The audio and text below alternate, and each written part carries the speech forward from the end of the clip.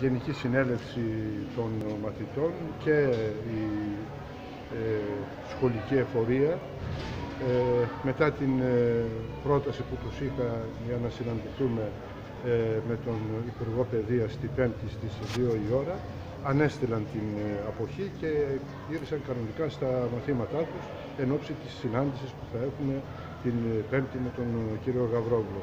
Για την αναμόρφωση του εκπαιδευτικού προγράμματος ε, γενικότερα του Ιεροσχολαστηρίου και για τα συγκεκριμένα αιτήματα που υπέβαλαν οι μαθητές στο 15 συμβούλιο τους όλο αυτό το διάστημα. Ε, ευελπιστούμε ότι θα έχουμε μια παραγωγική συνάντηση με τον Υπουργό Παιδείας, με τον κύριο Γαβρόβλου, για να μπορέσουμε να βελτιώσουμε και το επίπεδο αυτού του σχολείου.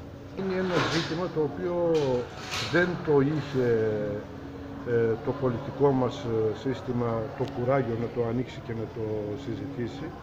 Ε, έχει ένα, μια ιστορία, ήταν το μοναδικό εκπαιδευτικό ίδρυμα στην μειονότητα μέχρι το 1952, δηλαδή μετά από το Δημοτικό. Πρέπει να γίνει ένας ουσιαστικός διάλογος για την αναβάθμισή του, για την μετατροπή του σε ένα ε, επαγγελματικό λύκειο, σε ένα κανονικό λύκειο που θα έχει τις ιδιαιτερότητες του μέσα στο εκπαιδευτικό σύστημά μας, το μειονοτικό εκπαιδευτικό σύστημα, όλα αυτά είναι υπό συζήτηση.